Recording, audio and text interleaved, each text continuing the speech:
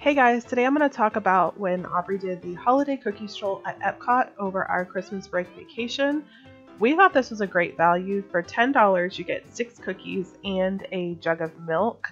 She got cookies from the Showcase Plaza, Germany, the American Adventure, between Morocco and France and Canada, and then again in the Showcase Plaza.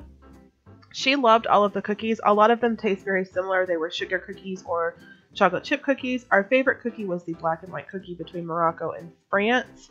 But it's a really great value. It's a set price, $2 per cookie, and then your last cookie is free. They give a stamp. You can keep your Festivals of the Holiday book as a souvenir, and she truly enjoyed it. She went and did the whole thing by herself, and it was just a great thing to do through the Epcot World Showcase because we could just kind of let her go off. We were all staying near, and for us, Epcot is a very mellow day, and it was the perfect activity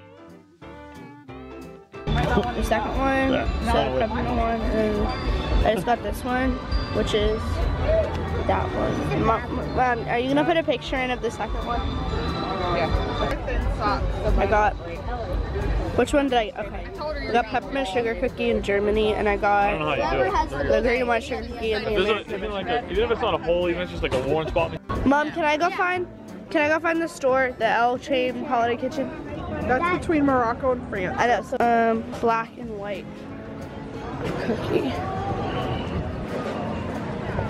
Uh, that one. It's supposed to be like it's a jelly. Oh. This one's huge. It's like a whole plate size. It's awesome. It's not in a shop. It's in like a corridor. Is that good? I think the gold chocolate one.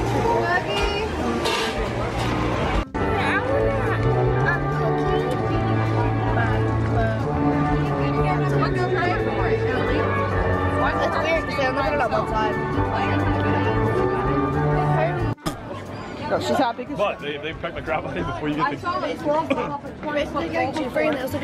didn't die, did it? Hold on, I'm gonna get a picture of that one.